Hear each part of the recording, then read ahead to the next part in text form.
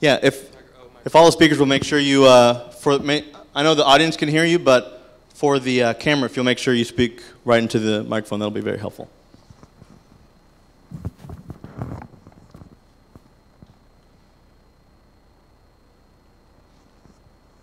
Which button is it here? is it the center?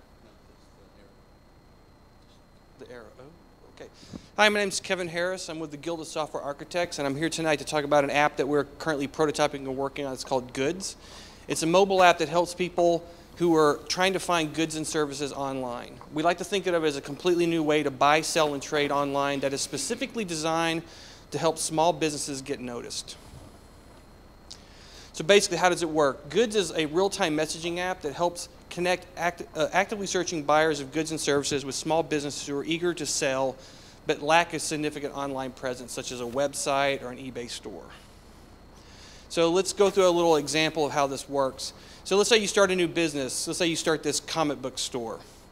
All right, so like any small business person, you're going to have the same problem that everyone else has. You've got great inventory, you've got the location, but you're just not getting enough customers. Sure, you're getting some foot traffic, but you really need to sell online to make a big impact. So when you start talking to your friends and family or even professionals, they, they give you the typical advice. You need to pay to build a website, you need to pay for e-commerce integration, and maybe if you're really aggressive, you need to set up an eBay store. And then what do you do? You wait and you wait and you wait for the customers. So you pay for all this, yay, you have a website, yay, you get on eBay, um, sort of. You got to manage this and they get a cut of everything. but still, after all that work, you still have no customers. Okay, so you got to fork out more money. You got to pay for SEO or search engine optimizations. You got to pay for Google ads. And maybe you dish out some extra cash for fa Facebook and Twitter ads. And then what do you do? You do some more waiting. This is a broken system, in my opinion. It's bad for buyers and sellers. Buyers are forced to search online and dig through results, which clearly are biased towards people who pay for a lot of ads. And for sellers, sellers are being judged not on the quality of their products or services, they're being judged on the, how much money they spend on website SEO and, and online ads. So this brings up our app that we're working on called Goodz. So how does this help sellers? Sellers can use the Goodz app to describe the products and services that they offer. Sellers are not required to list their inventory or upload like a million photographs of what they sell. They just answer some category questions about what they, what they, the products and services that they offer. For example, if we have a comic book store, we could have products that are in used collectibles, comic, and let's say we're selling something that's Silver Age. We also sell new comic books, so we're going to be in a category also called product, new, collectibles, comics, and other.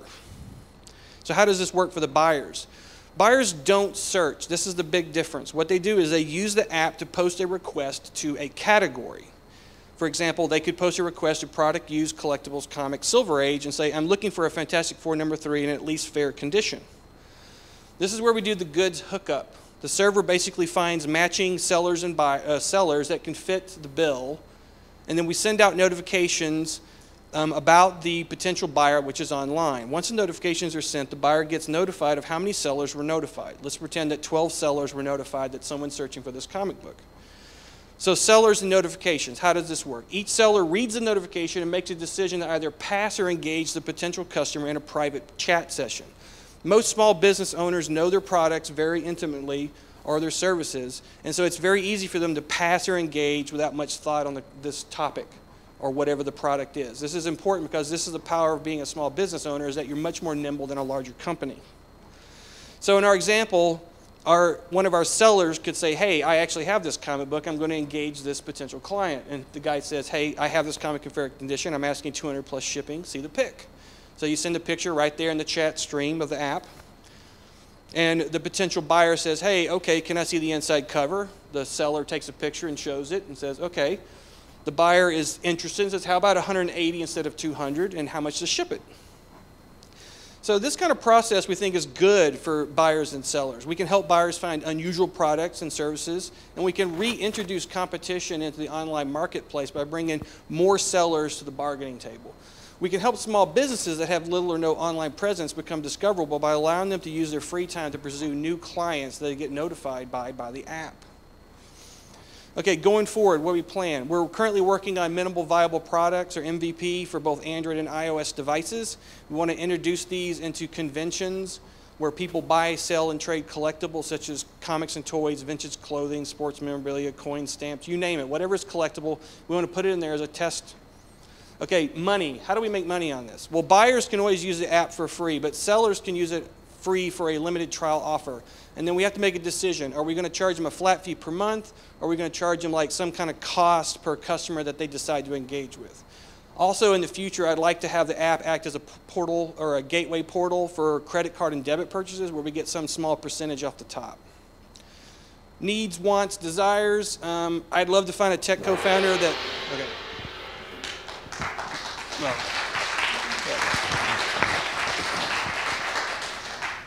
I nearly made it. Did, very close. Oh, I better stay over here, huh?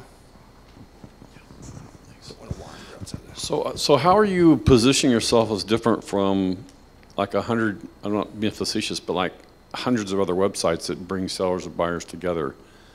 I mean, being able to take a pick is, I don't think is exactly groundbreaking. So how, I mean, how are you, how are you Um, differentiating yourself? I, I just think uh, targeting a crowd like millennials, they really they really live their lives through a cell phone. So I think there's an opportunity to introduce a completely new app that is focused on this. I like to think of it as kind of like Craigslist turned on its head, where you don't post things that you sell, you post what you want. We send out notifications, and those those sellers have an opportunity to engage the, those potential customers. So I mean, so have you done a drill down on the competition and you understand how you actually are different, not from your view, but from your customer's view? Um, well, we've uh, we've searched online and not really found any kind of mobile app that does this. So I mean, I've asked several people if you can tell me one, that'd be great. I'd actually would like to use this app for my own personal business, the Guild. So I've not really found anything that allows me to reach out and find new customers like this. Okay. So to be fair, I'm not claiming it's completely new. I just think this is a, a, a better opportunity to make it work, I guess.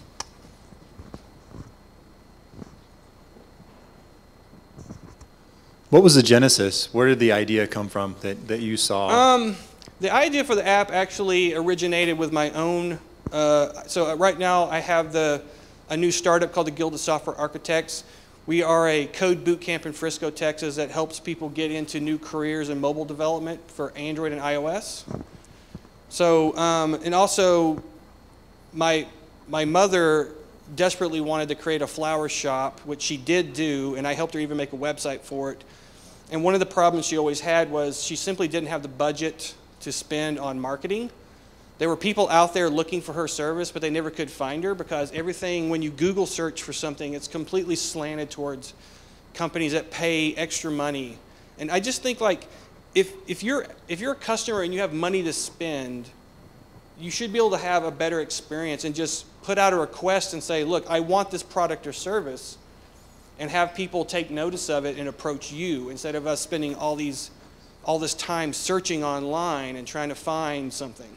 I think that's just a system that favors Google and people who sell ads. I think it's upside down and broken, personally, in my opinion.